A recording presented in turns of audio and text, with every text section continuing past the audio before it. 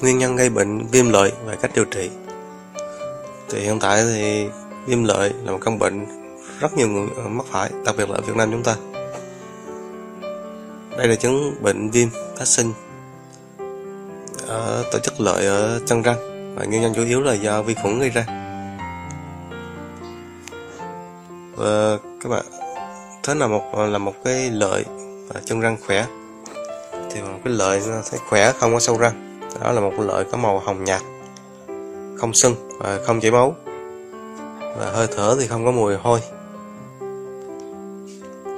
Và các triệu chứng khi bị viêm lợi là cái lợi nó có màu đỏ, nó nhạt mà tái tái đi, hoặc là đỏ thẫm đi, giống như cảm giác máu bầm vậy. Và chân răng chân răng gần tiếp giáp với lợi thì nó có mảng bám và cao răng rất nhiều. Lợi nó sưng đỏ và phì phì ra nhiều người bị nặng thì cái chân răng nó sẽ lỏng đi và dễ bị chảy máu tự nhiên. Đôi khi mình lấy lửa mình cạy cạy vào nó vẫn chảy máu. Và đặc biệt có một uh, dấu hiệu rất rất dễ nhận biết đó là miệng rất hôi. Khi nói chuyện hoặc thở ra thì miệng rất hôi. Và các nguyên nhân gây chủ yếu gây uh, viêm lợi đó là do uống rượu nhiều rượu bia hoặc là thuốc lá. Và đặc biệt những bạn ăn đồ ngọt hoặc cay thì nó cũng góp phần ảnh hưởng đến viêm lợi. Và khi thời tiết bình thường hoặc là ăn, đang ăn uống bình thường mà các bạn ăn uống đồ nóng hoặc lạnh quá đột ngột thì nó cũng sẽ dẫn đến lợi nó bị hư và viêm đi. Và một số người thì dùng bàn chải cứng hoặc là chải răng không đúng cách thì nó cũng sẽ dễ bị làm tổn thương lợi và gây viêm lợi và đặc biệt ở phụ nữ thì trong thời kỳ kinh nguyệt thì lợi rất dễ bị tổn thương. Nên thường trong thời kỳ kinh nguyệt các bạn nhớ, bạn nữ nhớ chải răng kỹ và đúng cách. Và những người bị tiểu đường thì cũng dễ bị rất, dễ bị viêm lợi. Và một số bệnh liên quan tới viêm lợi. Nhất là, như bạn đã biết thì khi bị viêm lợi thì răng và chân răng rất và chỗ tiếp giáp chân răng như lợi thì rất dễ bị chảy máu. Và sức đề kháng giảm và thiếu vitamin C. Và niêm mạc miệng hay là xung quanh miệng hoặc lưỡi dễ bị hội hội tử hoặc là bị mụn.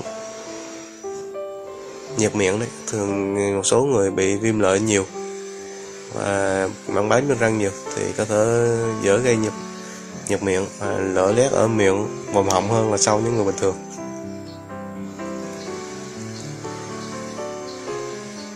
Và một chị em phụ nữ thì trong thời kỳ kinh nguyệt thì dễ gây tăng lượng nước bọt. Tăng cái tiếng nước bọt đấy và có thể gây viêm mặt cái miệng hoặc là mép viêm lợi à, trong thời kỳ thai nghén thì thường thì phụ nữ trong thời kỳ thai nghén nếu không bổ sung canxi thì rất dễ bị thiếu hụt canxi cho nó răng cũng dễ bị vỡ. Nếu như kết hợp tình trạng viêm lợi nữa thì tình trạng nó càng ngày càng trầm trọng hơn.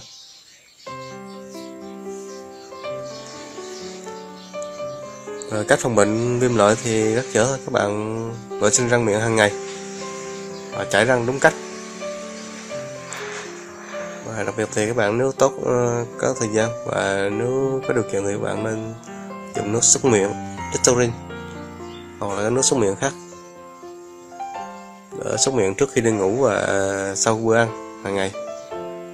Thì nó sẽ giúp làm sạch mảng bám luôn răng thì hạn chế được vi khuẩn trong vòng họng. Từ đó sẽ giảm được nguy cơ là viêm lợi cũng như viêm răng. Và các bạn, sau khi bữa ăn thì bạn nên dùng chỉ nha khoa để làm sạch khẽ răng. Ít nhất là tầm một lần một ngày. Thì tình trạng viêm lợi hoặc là sâu răng sẽ giảm đi rất nhiều.